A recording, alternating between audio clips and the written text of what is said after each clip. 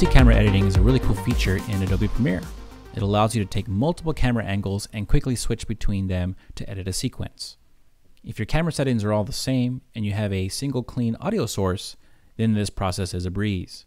Just select the two clips and we can right click and create a multi-camera source sequence. Unfortunately, in this example, I have a more complicated setup that would need to manually prep these clips to create a successful multi-camera edit. Let's take a look at the setup to get a better idea what I'm talking about. As you can see, I have two cameras, camera A and camera B framing our subject. Camera A is recording at 4K with two audio inputs. I have a lav mic on the subject recording to the left channel and a shotgun mic recording to the right channel. As a saying from my colleague, one mic equals no mics and two mics equals one mic. This is done to ensure that we have clean audio and a backup if needed. Camera B is recording at 1080 and we're using the internal microphone of the camera to help sync in Premiere. Because we're recording at two different resolutions and the audio channel issues, I'll need to adjust my source before I can do the multi-camera edit.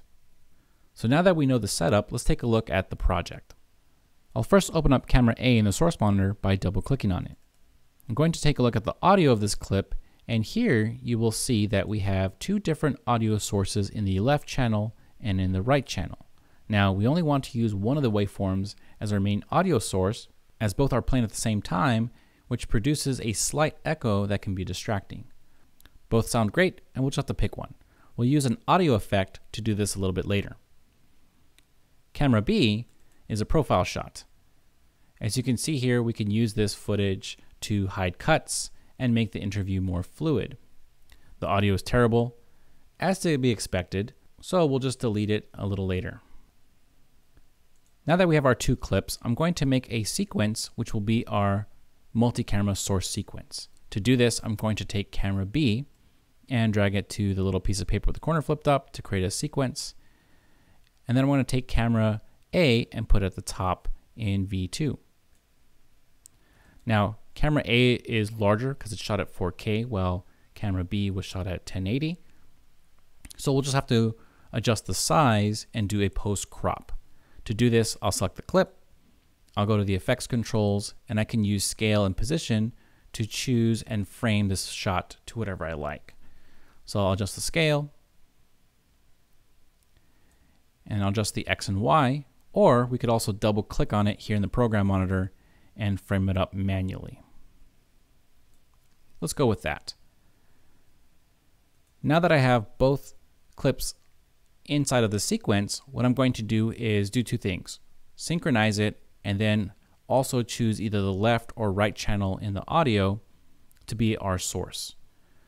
So first off, let's go ahead and adjust the audio. I'll select the audio from camera A and we'll go to our effects. And what we'll do here is select an audio effect that will allow us to fill in the left channel with the right audio or fill in the right channel with the left audio. Sounds confusing, but it's pretty easy. If we open up the audio effects, scroll down to special, you can see here we have two effects that we can use, fill left with right or fill right with left. Again, we'll have to play this back and listen to it, but in this case, we can go with either or, which, which sounds great. I'm gonna grab the left with right, place this onto audio A2, and now we can synchronize the two clips together and make sure that the clips are perfectly aligned so that when we do the multi-camera edit, there's not going to be an audio issue with them desynced. So I'll select both clips, I'll right click on it, and we're going to use an option called synchronize. Here we're going to synchronize these two clips by audio and click OK. And with the little Adobe magic, we have the two clips lined up perfectly. I'm going to slide these over here and what I want to do is delete the audio from our camera B angle. Again, it's not that great. It was just to use for the synchronize feature. So what I'll do is I'll turn off this link option here in my timeline, select the audio for camera B, and we'll just simply hit delete.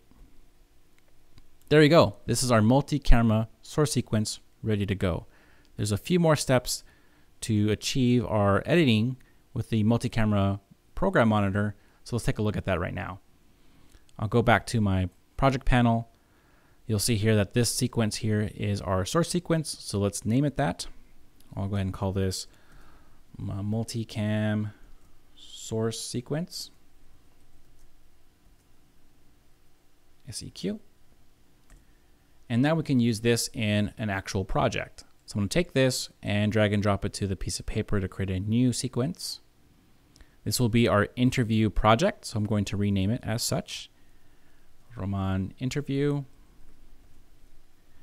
And now what we could do is enable the multi-camera editing on this nested sequence so that we can use our program monitor to toggle from camera A to camera B, camera B easily.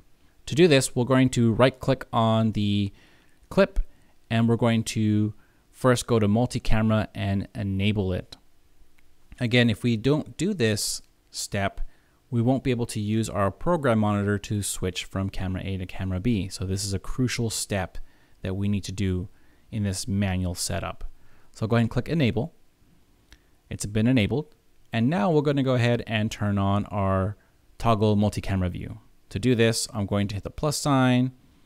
I can take this multi-camera view option button and drop it into my tools here at the bottom. Click OK. And now when I enable it, you can see here we have camera 1 and camera 2 ready to go. So as I play this, I can simply click on these two different cameras, these two different angles, and start creating my cut. So I'll hit play and then I can switch My the two favorite cameras course by to simply teach clicking varies. on these little Uh, icons. typically, I really like working with the and you can see here, there are my cuts. So it's, it's a little lengthy process, but sometimes you're gonna need to do this, especially again, if you don't have two cameras that are shooting at the same resolution, we have an audio issue, you know, set it up manually and you can make sure that everything works perfectly before you do the multi-camera edit.